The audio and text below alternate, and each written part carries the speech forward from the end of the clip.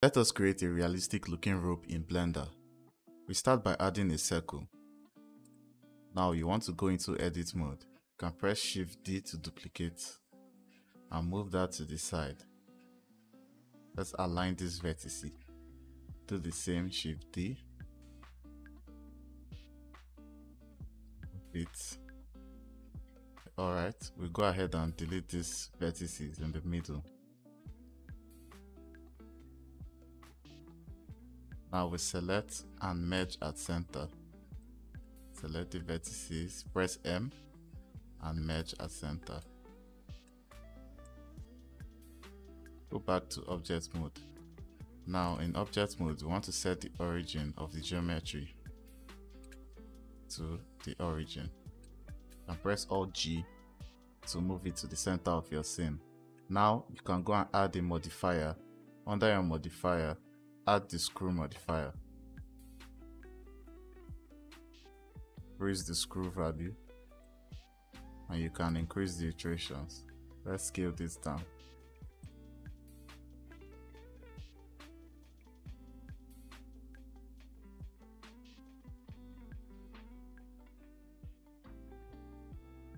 Now we can press shift A add a curve. Let's use the Bezier curve press alt G to take it to the origin point. Go into edit mode. Can delete those vertices and let's draw a curve shape.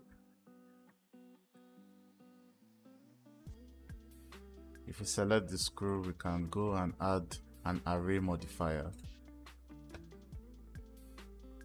and change this to the z-axis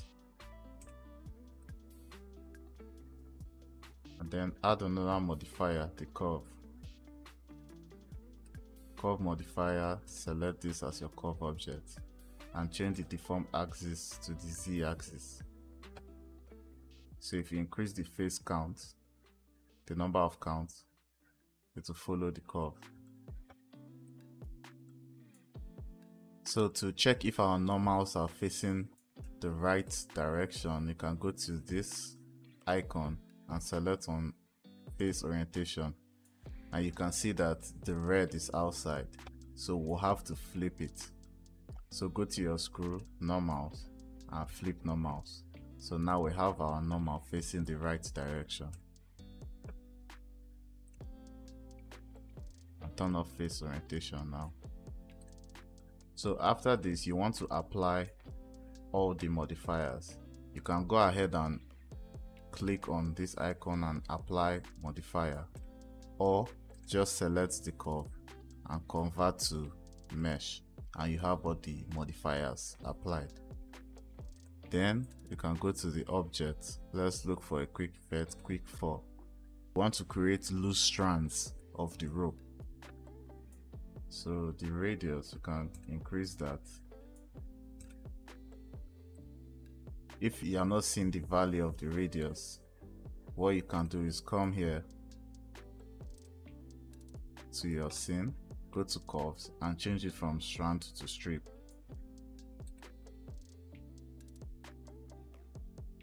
Interpolation we want to change the density. All right so we want to add a geometry node.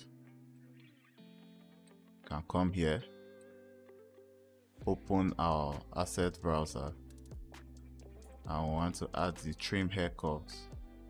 So you can drag this and drop it here. Select. Add the trim hair curves. This will allow us to be able to change the length of the hair and turn off scale uniform and give this a reasonable length. So there you have your rope created. For the textures, you can just do a simple texture. Go to your shader editor and set the color to maybe an orange looking material add the ambient occlusion add a mix shader. Use the ambient occlusion as the factor. Let's add a velvet material. Put that in and we can put it to black or almost black. Now we want to add a color ramp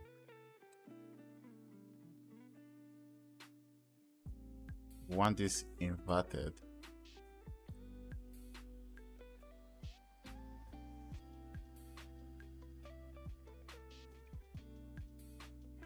So that the areas in between the rope will appear darker.